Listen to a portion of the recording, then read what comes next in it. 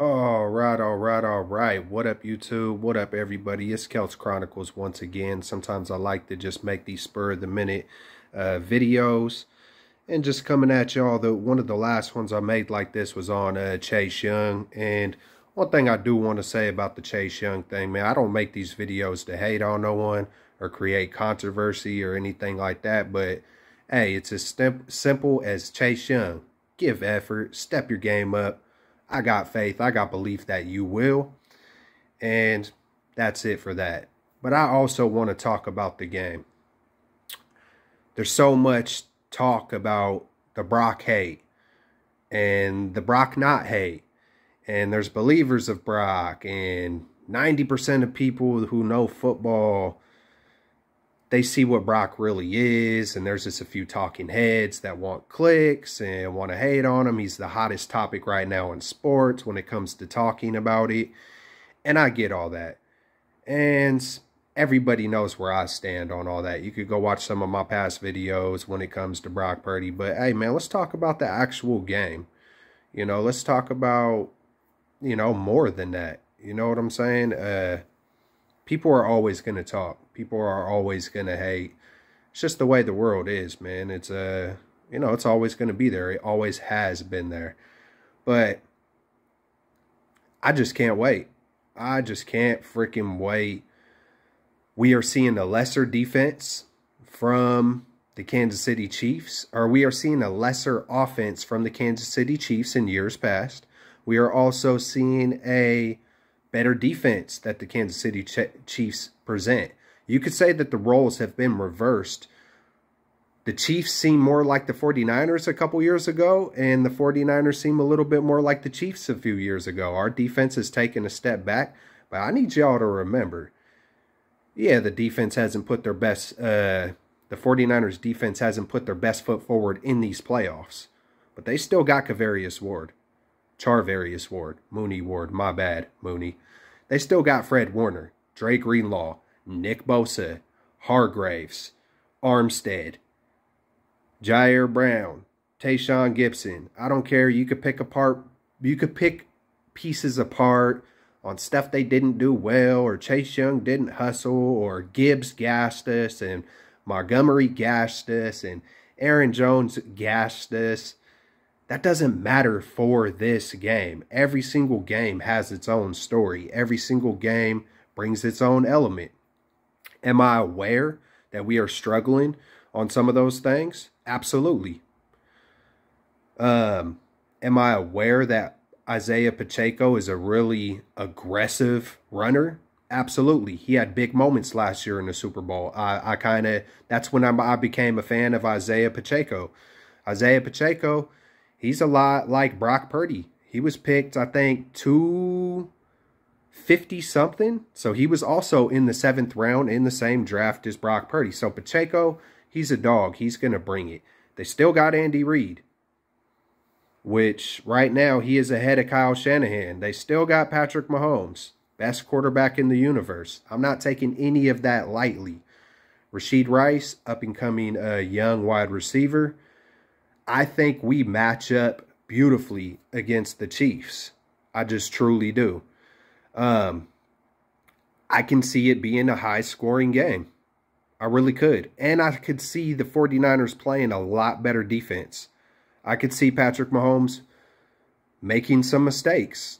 I could see us taking advantage of that. Like, however it comes, it's going to be indoors, Las Vegas. Uh, it's going to be a beautiful atmosphere. We already know that Brock Purdy is not going to get rattled. And we'll see I just hope the San Francisco 49ers start off fast. I hope they are just efficient on offense. Don't got to do too much. At some moments, you might have to be a playmaker, Brock, and you have proven that you can do that with your legs, with your elusiveness, with the arm on the run, arm in the pocket. You have shown time and time again you could take a hit there is Chris Jones. We gotta, you know, we gotta be aware of their strengths. They got Karlaftis. Omenihu is unfortunately out, but they do got Karlaftis. They do got uh, Chris Jones. They got Bolton and Reid and Sneed and McDuffie. They they got some guys over there, and they've been playing great. I just think on the flip side, we got Kittle, we got Deebo. we got Aiyuk, we got Trent Williams, we got Juszczyk. we got CMC, we got Brock Purdy. So it is going to be an incredible matchup. And then you got two of the best coaches in the NFL. You know, we've been the four out of the last five NFC championship games. I believe the Chiefs have been four of the last five Super Bowls. So the two best teams are here. Break it down. You could talk about the regular season or the 49ers run defense or whatever else. The two best teams are here. Um, it's got the little feeling of David versus Goliath with Brock Purdy and Patrick Mahomes. But could you imagine? I've already put this out there. I've said it days ago. Brock Purdy can have the Steph Curry effect. Could you imagine if little old Brock Purdy wins the almighty Patrick Mahomes in the Super Bowl? It's going to give kids across the world a belief and a faith, man, that they too don't have to be the biggest, fastest, or strongest. If they have faith and put in hard work, they could get it done.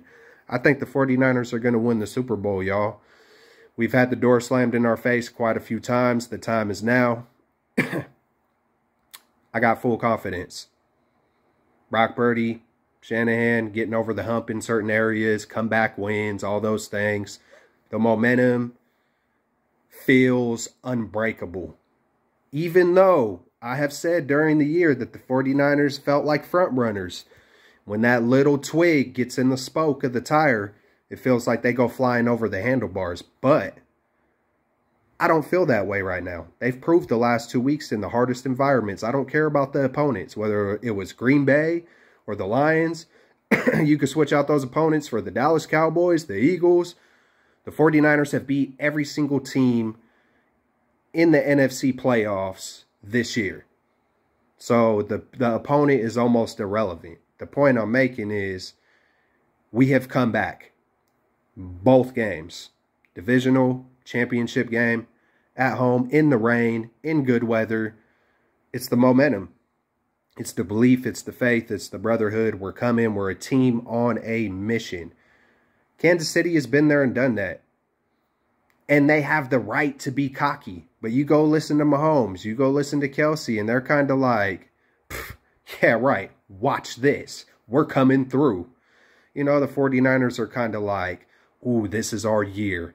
Man, we're coming through. So it's, I feel like there's a little bit more seriousness with the 49ers team, but the seriousness doesn't equal tightness. Like back in the day when we had Jimmy Garoppolo, it was more hopeful. It was like, oh my God, this is a lucky, hopeful, beautiful year. It's our year. But this year, it's like, oh no, we're hungry. We're humble. We're a machine on a mission. We're going to take six, y'all. It's happening. X's and O's. Who knows exactly how it's going to play out. There's 22 missing, moving pieces. The coaches are making hundreds of decisions, playing chess, trying to figure it out but it's going to go down February 11th, three days before my birthday. So hopefully I get an early birthday gift. It's been, what, 29, 30 years. We're coming through. Keep full faith because that's what the 49ers do. Stay up, stay blessed. Yee!